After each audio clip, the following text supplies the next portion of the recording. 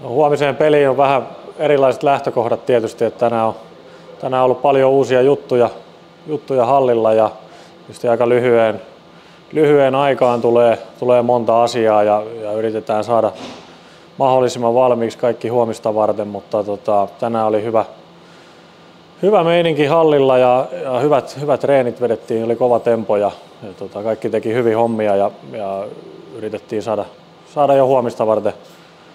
asioita kuntoon. Ja tietysti huomenna vielä jatketaan sitä,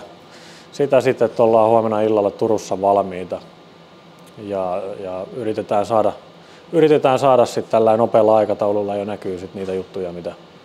mitä ollaan keretty käymään läpi. Että ihan hyvillä, hyvillä fiiliksillä huomista kohti ja, ja tota, lähdetään sieltä taistelemaan kolme pistettä.